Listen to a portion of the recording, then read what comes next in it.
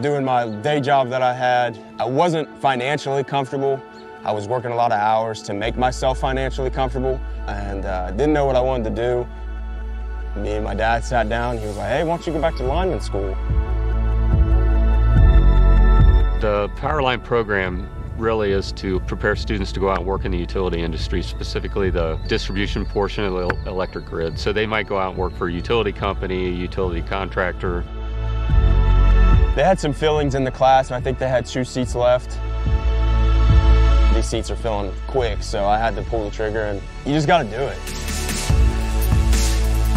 We are one of the only career tech centers in Southwest Ohio offering the electrical power line mechanic program. We're actually teaching curriculum from one of the utility companies. Uh, more or less a pre-apprenticeship training program. What we found is, is that students who want to get into the electrical industry, it's very competitive. When they get into the job market and they're applying for these positions, they have to be prepared to meet those rigorous standards. It's really challenging. If you've never been in the construction world per se, I was not the best climber. There was other kids in my class that could fly up the pole and down the pole. They'll go through about 900 hours of training, which is a combination of book work and also working out in our pole yard out here to actually learn the hands-on skills. Gail, the instructor I had, is, is excellent. He teaches everything by the book and experiences that he had in his past, because he's a retired lineman.